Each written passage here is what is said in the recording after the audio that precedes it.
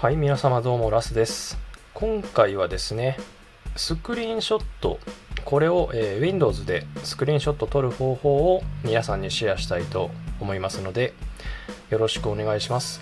えー私のチャンネルではですねこういうパソコン関係で役に立つ動画、えーこれを配信していっておりますのでよろしければですね、えチャンネル登録していただけると嬉しいです。ということで早速やっていきたいと思います。例えばですね、えーなんかまあウェブサイトでも何でもいいんですけどパソコンに映ってる画面をですね何かこう画像を撮りたい場合にですねどうするかっていうと、えーこのど画面のどこでもいいんでですねキーボードのですねシフトとウィンドウキーとあと S ですね。これを同時押ししてみてください。えーシフトと、えー Windows キーとで S ですね、えーそうするとですね上の方になんかいろいろ出てくるんですけど、え左から行くとですねこれは四角形の、え領域切り取り。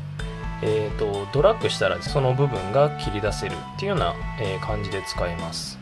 で、えー、とこっちはフリーフォームで、えーと自分のねこのマウスで描いた領域だけ、え切り出しすることが、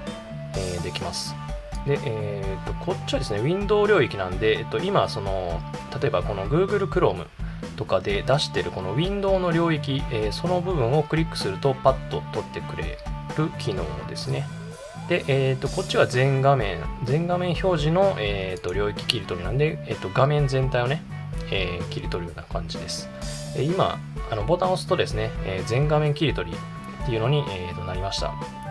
もうこれでコピーされてますんでですね、例えば、えーと自分の場合だとこの Google スプレッドシート、えーこれは Excel とか、えー PowerPoint とか Word とか何でもいいですので、えー好きなアプリケーション立ち上げてもらってですね、えー一応そのファイル編集、えー何かしたらその画像を貼り付けれる、えータイプのアプリケーションを起動してもらってですねここで、えーとコントロールと V これを押してみてください。そうするとですね、えーとこんな感じで、えー今ねさっきの Yahoo の画面の、えースクリーンショットが、えー貼り付けられました。ので、えーこれねぜひ一回試してみていただければと思います。えー、と先ほどのですね、えっと好きな領域を切り取りたい場合はもう一回、えー、とシフトと、えー、ウィンドウキーと S を押してもらってですね。で例えばこの左のやつだと、えー例えばねこれで好きなところをですねこうやって切り取り、